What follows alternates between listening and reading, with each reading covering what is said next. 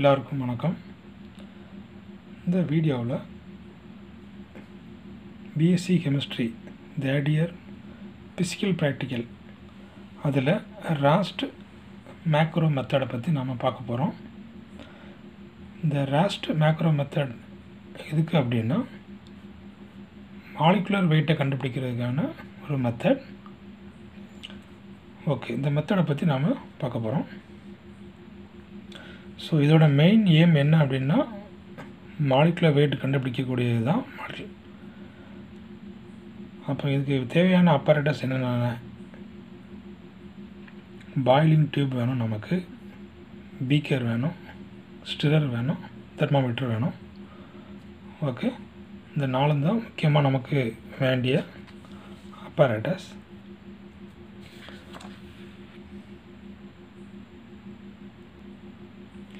இதோட ஃபார்முலா பாருங்கள் இதோட formula M two thousand into KF into W two divide by W one into delta T இந்த M டூனா என்ன அப்படின்னா molecular weight of solute molecular weight of solute இதுதான் நமக்கு வந்து கண்டுபிடிக்கக்கூடிய மாலிகுலர் வெயிட்டு டபிள்யூ ஒன்றுங்கிறது solvent சால்வெண்ட்டோட weight not molecular weight weight எத்தனை கிராமோ அத்த அந்த கிராமை இதில் நம்ம எழுதுவோம். அடுத்தது delta T depression of freezing point அந்த டெம்பரேச்சர் எவ்வளோ குறைஞ்சிருக்கு அதோட டிஃப்ரென்ஸ் நம்ம இதில் இந்த வேல்யூ இதில் போடுவோம். அப்புறம் டபிள்யூ டூ டபிள்யூ டூங்கிறது என்ன அப்படின்னா வெயிட் ஆஃப் சொல்யூட் இந்த நமக்கு கொடுக்க நம்ம கண்டுபிடிக்கக்கூடிய சொல்யூட்டோட வெயிட் எத்தனை கிராமுங்கிறத போடுவோம். அடுத்தது கேஎஃப் இது என்ன அப்படின்னா மோலல் டிப்ரெஷன் கான்ஸ்டன்ட். இது வந்து கேஎஃப்ங்கிறது மோலல் டிப்ரெஷன் கான்ஸ்டன்ட். இதை நம்ம கண்டுபிடிக்கிறதுக்கு இதே ஃபார்முலாவை நம்ம என்ன செஞ்சுக்கலாம் யூஸ் பண்ணிக்கலாம். ஓகே இந்த அப்போ இந்த எக்ஸ்பெரிமெண்ட்டை நம்ம எப்படி செய்யலாம்ங்கிறத நம்ம இப்போ நம்ம பார்க்கலாம். இந்த மோலல் டிப்ரெஷன் கான்ஸ்டன்ட்ங்கிறது என்ன அப்படின்னா அந்த ஃப்ரீசிங் பாயிண்ட் டிப்ரெஷன் அந்த ஃப்ரீசிங் பாயிண்ட்டு எவ்வளவு குறையுது அப்படிங்கிறத பற்றி நம்ம இந்த இதில் நம்ம பார்க்க போகிறோம் எப்படிங்கிறத பார்ப்போம். ஓகே நமக்கு என்னென்ன கொடு கொடுப்பாங்க?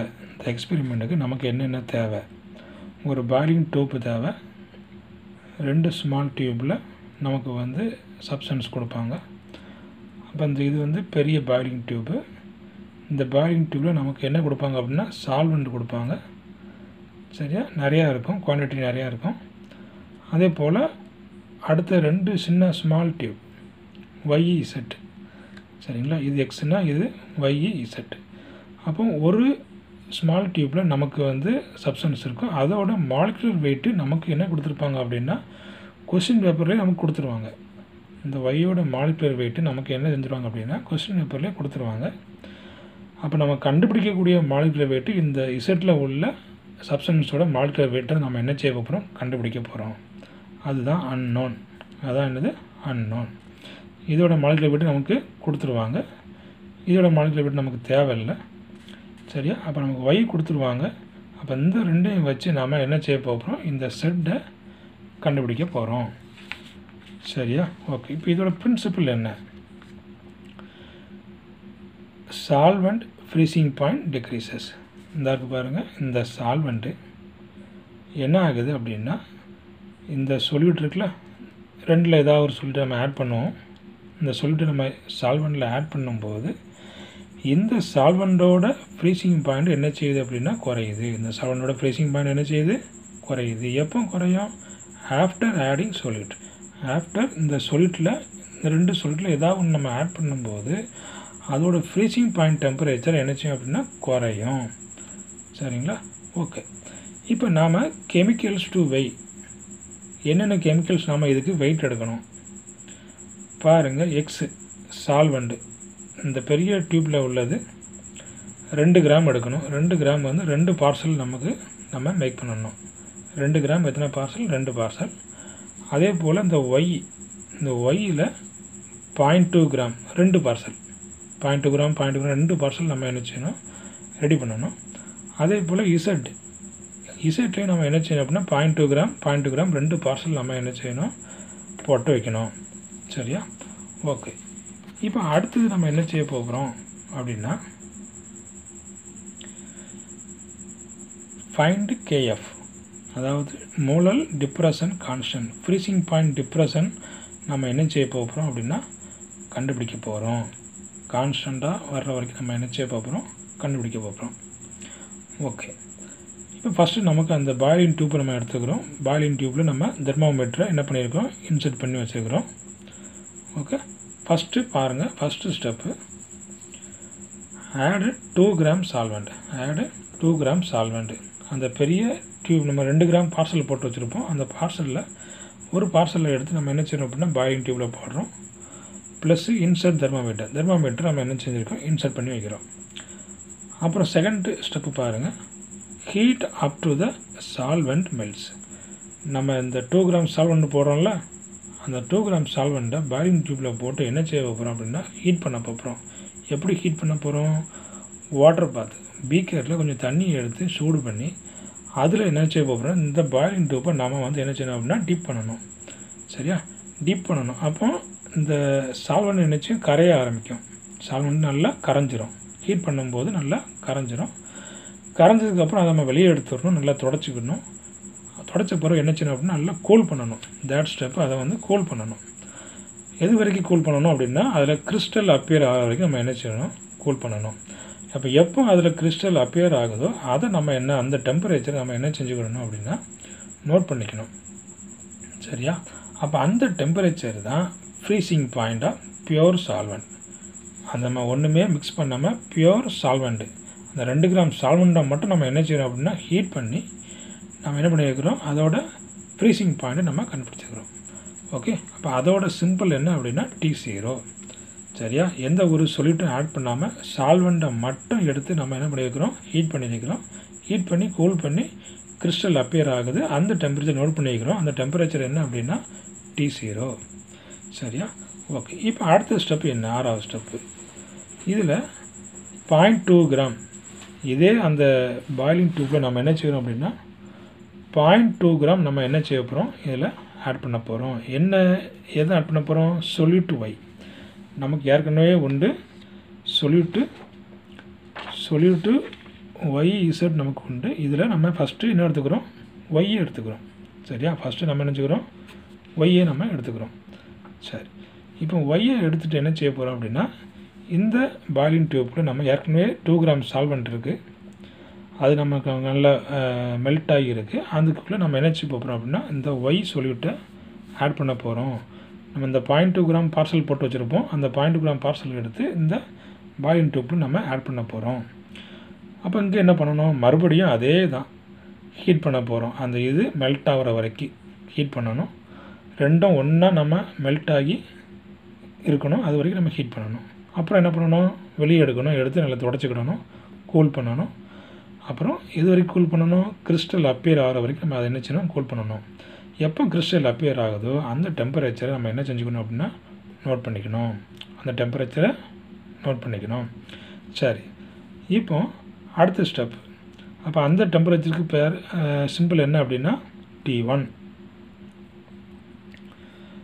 அப்புறமா அடுத்த ஸ்டெப் என்ன?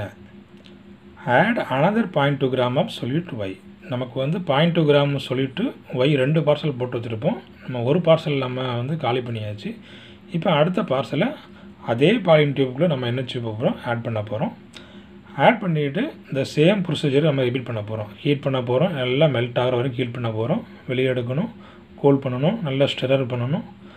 அப்போ கிறிஸ்டல் அப்பியர் ஆகும். எப்போ கிறிஸ்டல் அப்பியர் ஆகுதோ அந்த டெம்பரேச்சர் நம்ம என்ன செஞ்சுக்கணும் அப்படின்னா நோட் பண்ணிக்கிடணும். சரி. இப்போ இந்த ரீடிங்கை நாம் எப்படி நம்ம வந்து என்ன செய்யலாம் நோட் பண்ணலாம்? பாருங்கள் எப்படி நோட் பண்ணுறது அப்படின்னா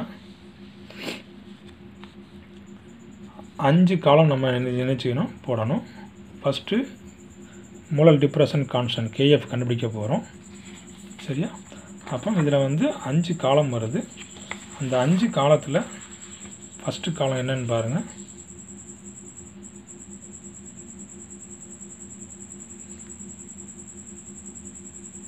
சரி பாருங்கள் ஃபஸ்ட்டு காலம் பாருங்கள் வெயிட் ஆஃப் சால்வெண்ட்டு சரியா? அப்புறம் weight of solute freezing point del T K F சரிங்களா? இந்த அஞ்சையும் நம்ம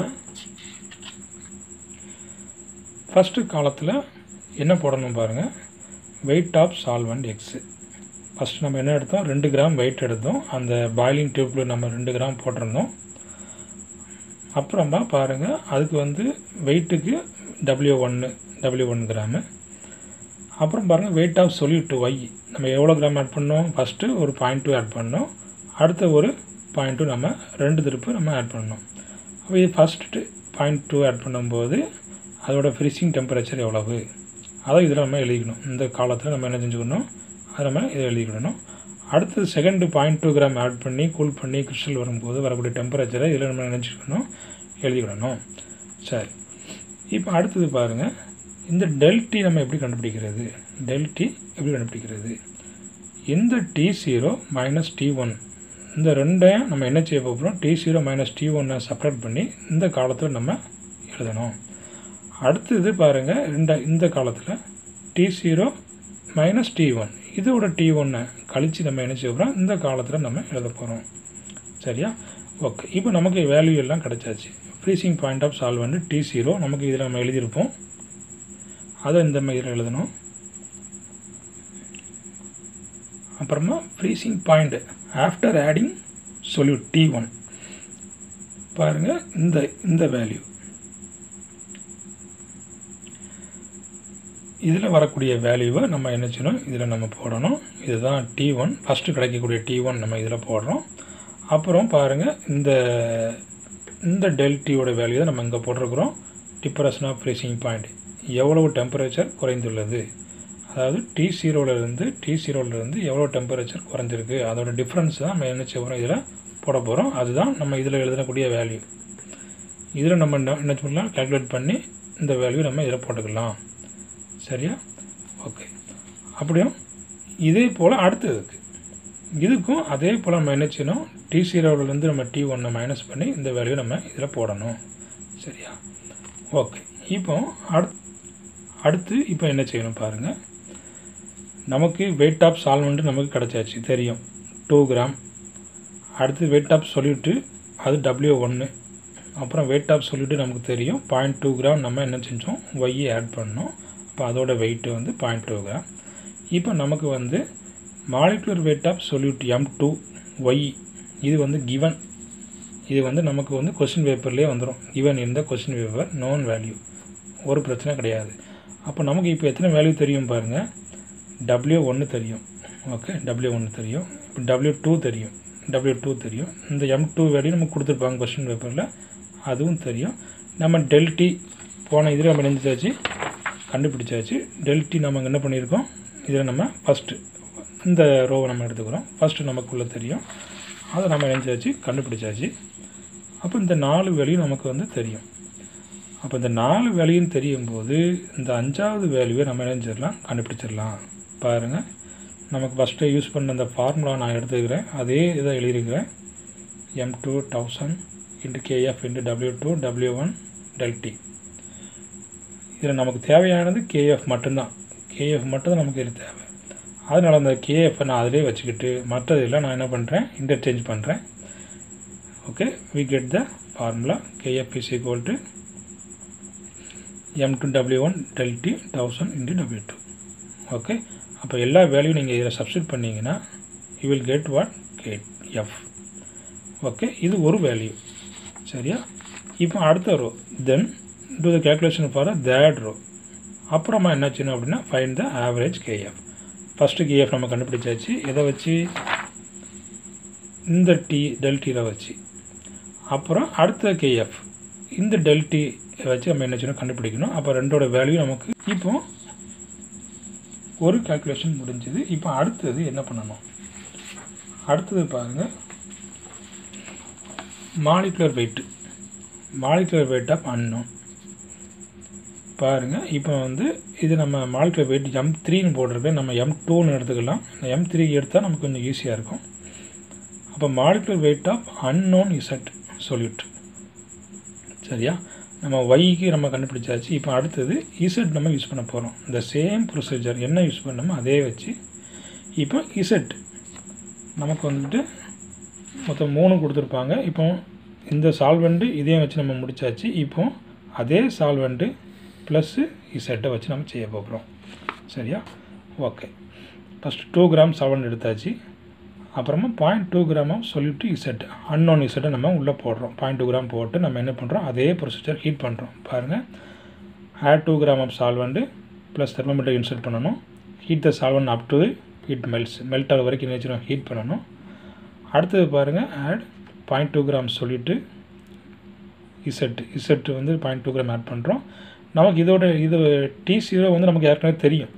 இந்த சால்வெண்ட்டோட ஃப்ரீசிங் பாண்ட் நமக்கு ஏற்கனவே போன கேல்குலேஷனில் நம்ம கண்டுபிடிச்சிட்டோம். அதனால் மறுபடியும் செய்ய வேண்டிய அவசியம் இல்லை.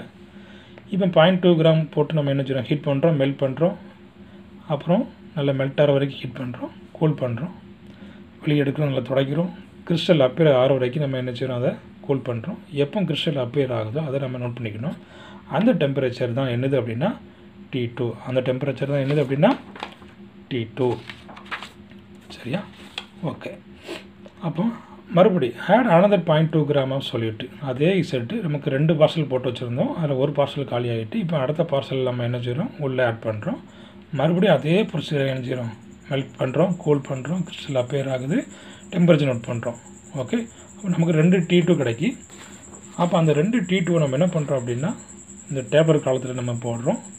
டி ஜீரோ நமக்கு போன கல்குலேஷன் நமக்கு தெரியும். அதை அப்படியே போட்டுக்கிற வேண்டியதான் அப்புறம் இந்த டி டூ ரெண்டு டி டூ கிடைக்கி ரெண்டு டி ரெண்டு டி டூ நம்ம நினச்சிக்கணும் அந்த ஃப்ரீசிங் பாயிண்ட் காலத்தில் நம்ம நினச்சிக்கணும் எழுதிக்கிடணும் ஃபஸ்ட்டு பாருங்கள் molecular weight of the given சொல்லிட்டு கண்டுபிடிக்க போகிறோம் அப்புறம் first weight of the solvent நமக்கு தெரியும் டூ கிராமு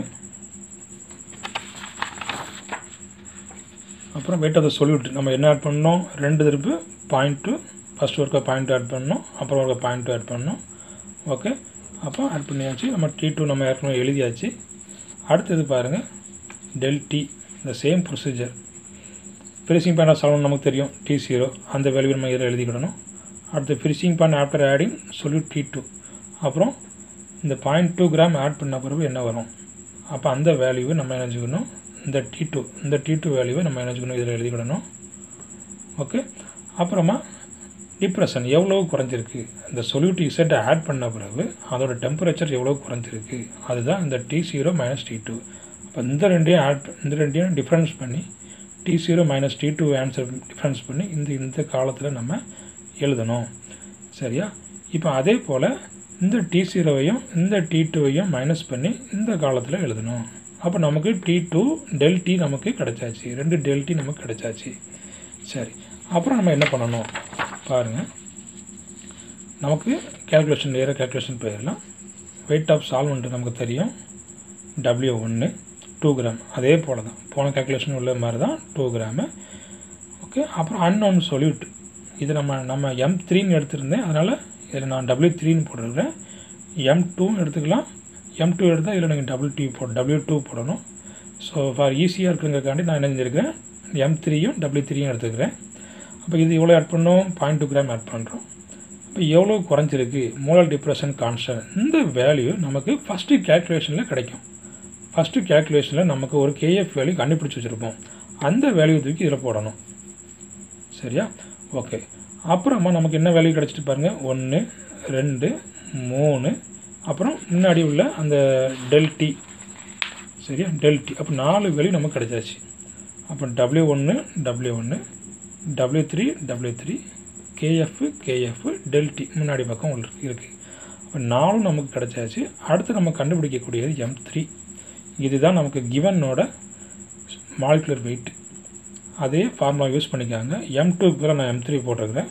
டபிள்யூ டூக்கு மேலே டபிள்யூ த்ரீ போட்டிருக்கேன் அவ்வளோதான் அப்போ M three is equal to அதே ஃபார்முலா ஃபஸ்ட்டில் நம்ம யூஸ் பண்ண formula thousand K F W three W one T del T K F value நமக்கு தெரியும். அப்புறம் டபிள்யூ த்ரீ வேல்யூ நமக்கு தெரியும். அப்புறம் டபிள்யூ ஒன் வேல்யூ சால்வெண்டோட வெயிட்டு தெரியும். டெல்டி நமக்கு தெரியும். கண்டுபிடிச்சி வச்சுருக்கிறோம். இது எல்லாத்தையும் நம்ம கால்குலேட் பண்ணியாச்சுன்னா you will get M three இந்த மாலிகுலர் வெயிட் ஆஃப் இந்த அன்னோன் சொல்யூட் நமக்கு கிடச்சிரும்.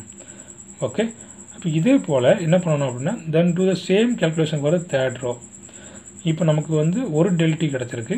இப்போ இன்னொரு டெல்டி நம்ம ஏற்கனவே அந்த தேர்ட் ரோவில் இன்னொரு டெல்டி இருக்குல்ல இந்த இந்த டெல்டி இதை வச்சு இந்த சேம் கேல்குலேஷன் போடணும்.